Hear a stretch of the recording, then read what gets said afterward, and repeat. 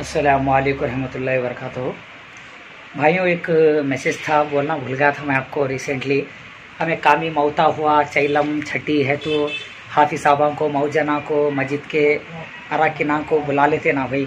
वैसा लॉकडाउन चल रहा। कभी हमें मऊजन के बारे में और हाफिज साहब के बारे में कभी ख्याल करें मेरे भाई? नहीं कर रहे थे आई थिंक इसलिए वीडियो बना रहा हूँ। गलती है तो माफ़ी चाहता मेरे भाई। माफ़ करो अल्लाह के से। जाने जाने भूले तो माफ़ करो। पहले माफ़ी मांग रहा हूँ। वीडियो किसी भी धक्का पहुँचेगा और किसी भी दिल को दर्द हुएगा। तो सभी हजरात से अदाबन गुजारिश कर हाथ जोड़ को मेरे भाया करीब के हाफिज साहबा, मस्जिद के मौजना के बारे में ख्याल करो। आप लोग लॉकडाउन चल रहा। अब हाफिज साहब मौजन वो लोग कैसा रहते हैं? वकफ बोर्ड से हाफिज साहब को छः हज़ार तनख्वाह और मौजन साहब को तीन हज़ार तनख्वाह थी। आप लोग को तो जानते रहते भाई। आप लोग तो अलहमदा से कुछ भी नहीं होता, आप लोग को मालूम है। क्या बात बुरी लगेंगी? बार बार माफ़ी चाह रहा हूँ मेरे भाई।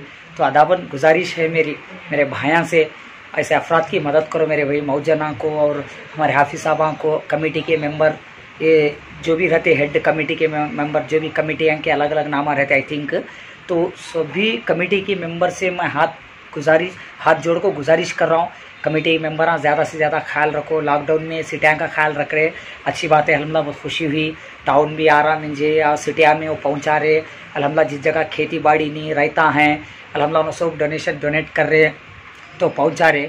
तो स्पेशल गुजारिश क्या बोले तो मेरे भाया हजरता का और मौजना का ख्याल रखना, भाई हाफिज का कई को बोले तो उन्होंने मालूम रहता आपको छः हज़ार में महीने में कुछ भी नहीं होता और तीन हज़ार में मौजन साहब का भी कुछ भी नहीं होता।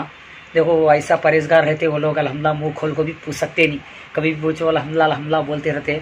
सभी भाई से गुजारिश है, जो अल्लाह तुमने नवाजा वैसे भाई से गुजारिश है, आपके अगल बगल के मस्जिदा के मौजना का और हाफिज साहबा का ख्याल रखना बोल को मैं रिक्वेस्ट कर रहा हूँ भाई। सभी भाई से आपका आर एम रफ़ी जाने जाने भूले तो माफ़ी चाहता।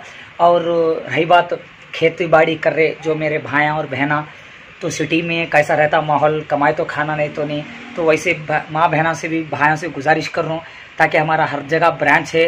वो ब्रांच में चावल दाल पहुँचाए तो और मेहरबानी होती ताकि हर सिटी में हम कर सके। महाराष्ट्र में आ, भी अब ब्रांच ओपन हुआ है।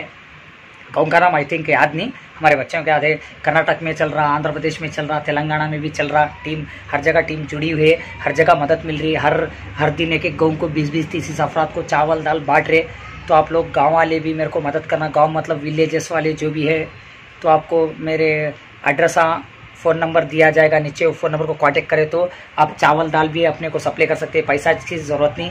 दाल चावल के ज़रिए भी तुम मेरे को दिए तो सिटी में उसको फ़रोख्त करते हैं। मैं सबका ख्याल रखो मेरे भाया लॉकडाउन चल रहा है, बहुत लॉन्ग है लॉकडाउन और रमज़ान में भी खैर खैर, सरखा जो भी काट रहे तो निकाल रहे तो अलहमदिल्ला हमारे नंबर पर कॉल करो इन हमारे हमारे हज़रत साहब को हर जगह अवेलेबल है। जो हम, जो फ़र्स्ट वीडियो में मैं गाँव के नाम बोला, तीन स्टेटा में हर जगह हमारे साथी आपको मिल जाएँगे और स्पेशली वीडियो है, हमारे हाफिज साहबा मऊजना को वासे है और मस्जिद के कमेटी के मेंबर अंजुमन कमेटी जो भी है अच्छे अच्छे कमेटियाँ गौसलवारा कमेटी और जो भी है एक्स वाई जेड कमेटियाँ से गुजारिश है कि हाफिज साहबा का और मौजना का खास ख्याल रखो। असल वरहमल वर्का